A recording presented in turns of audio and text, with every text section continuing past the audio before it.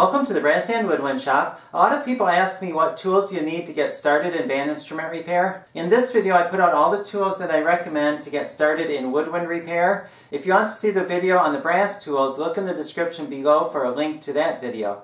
There is a little overlap between the woodwind and the brass tools. Some of the tools are the same. So if you are ordering for brass and woodwind repair, there are several tools that you will not need to buy two of. These are not all the tools that you could use for woodwind repair. There are several other tools that are nice to have. If you find that there is another tool that you need, then buy that one. There are some tools here that I recommend that you will find that you can get by without. For example, if you decide not to do saxophones, a lot of these tools you will not need. Silver polish, and this is cork cement, and this works for gluing the corks on when you do the key corks and also the tenon corks going to want at least one needle oiler with oil in it, and that's for oiling the hinge rods and pivot screws and other things that need to be oiled. This is a bench motor. It's expensive, but you can use it for a lot of different things, so I recommend that you get one of these. This is a small vise that you can use for a lot of different things. Use it for holding things when you work on them or whatever. This is a V-block and it's used for holding things in your large bench vise. I do not have a bench vise in this picture but you need one of those to do anything with brass or woodwind repair. You'll need a set of drill bits. This is a size 1 to 60. There are many other sizes too but I recommend the size 1 through 60. That gets you started and it will cover most of what you need to do for woodwind repair. Another tool that's fairly expensive, but you'll want one, is a saxophone leak light. If you do any saxophone work, you will want one of these leak lights. These are sets of flat springs and needle springs, and you don't necessarily need the whole set. You only need a few. Those are used to replace springs on instruments that break, and springs do break, so you will need some of those. You might not necessarily need all of them, though. For the dent mandrels, I just have the flute head joint mandrel and the flute body mandrel. You can order a whole lot of dent tools, especially for saxophone, but unless you're going to do a lot of saxophone work, probably order those later if you need to, but I do recommend getting the flute body mandrel and the flute head joint mandrel. These two tools usually work together. This is a flute tenon shrinking die, and this is a flute tenon expander. You use these with flute joints that do not fit together well, either if they're too loose or too tight. You use these two tools, usually in conjunction with each other, to repair those. Also for cleaning purposes, a flute cleaning rod. It works on all the instruments, not just flute.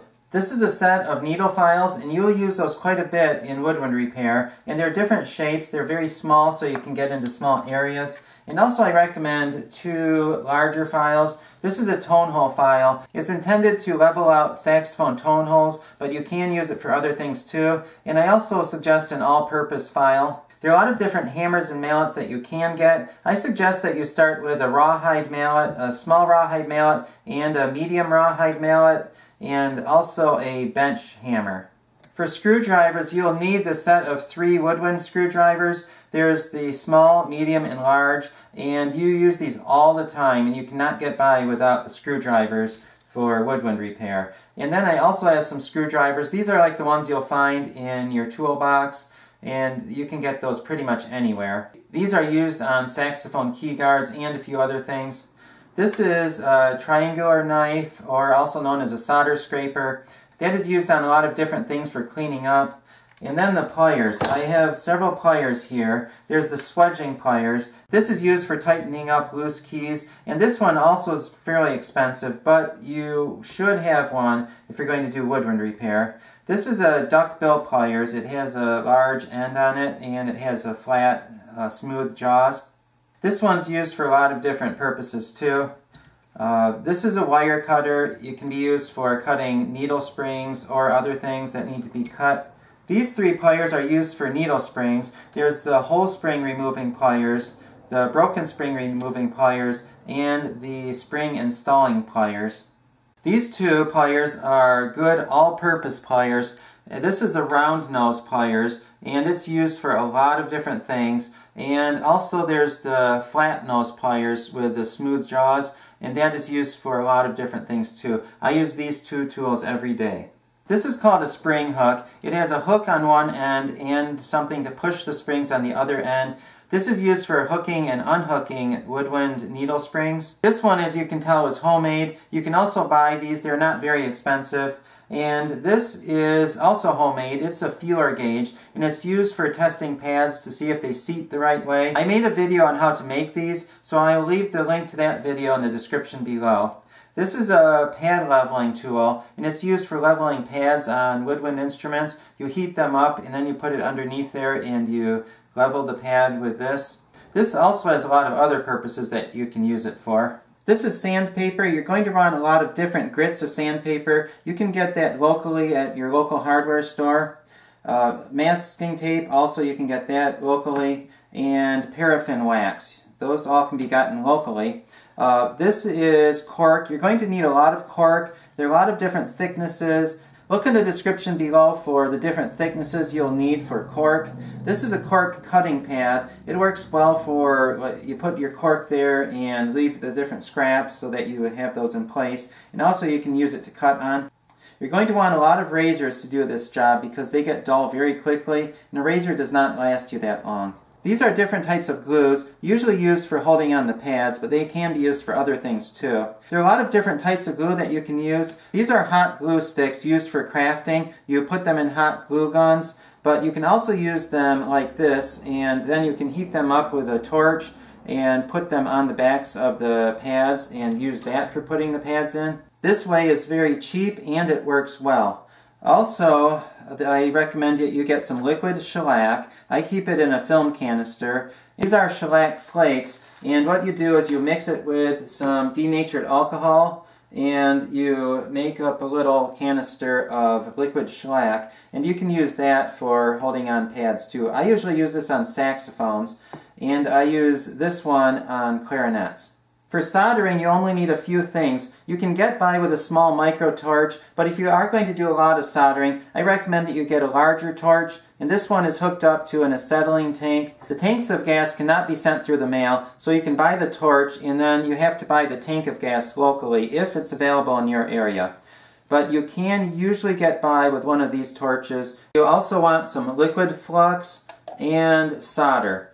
You'll probably need some soldering clamps. I only have two in this video, but I do recommend that you get a few more than that. Also, you'll need safety glasses for soldering and for buffing. The buffing supplies, and this is probably about all you will need for woodwind repair. You can get more, but you'll need the bench motor, and then a spindle to hold the buffing wheel, and just one or two razor buffing wheels will get you by for a while, buffing gloves, and white buffing compound. It's really all you need to get started at woodwind buffing.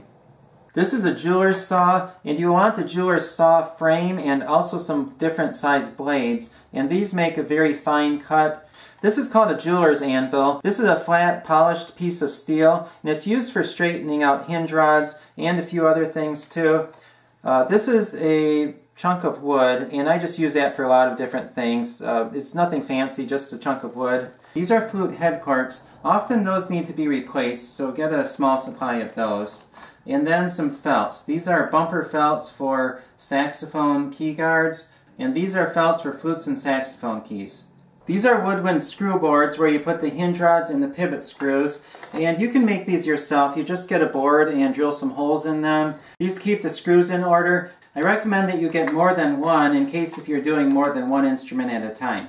All that's left are the pads. These are not all of my pads. This is just a representative supply of what I have. These are my saxophone pads. There are about a hundred different sizes of saxophone pads, and saxophone pads are very expensive. So just order what you need. Don't order all of the saxophone pads at one time unless you have a lot of money to spend. For the clarinet pads, I will put the common sizes that you need in the description below. Order about one dozen of each of the common sizes, and then as you use them up, order more. These are flute pad clamps, and you use those when you're repadding a flute, and you'll probably need about a dozen of those. These are my flute pads, and you will not need as many different sizes of flute pads, probably only about 10 different sizes. And I use mostly the yellow pads, and I have some white pads here too that I use if I'm trying to match what's already on a flute and I just need to replace one or two pads. But usually I use, but usually I use the yellow pads. You can use either one. A lot of different manufacturers make the pads. Just find what you like and stick with it. I use Ferree's for the saxophone pads, Hermes for the clarinet pads, and Allied for the flute pads. I also have cork pads. I use the 9mm cork pads for the register key on a clarinet and also I use the cork pads for oboes. But if you're not going to do oboes, you probably only will need a few 9mm cork pads for clarinets. If you are going to work on oboes, I recommend that you get about a dozen of each size of the cork pads. Most of these tools come from Ferree's Tools or Allied Supply. Ferree's Tools will sell to anybody, but you get a discount if you have an account with them.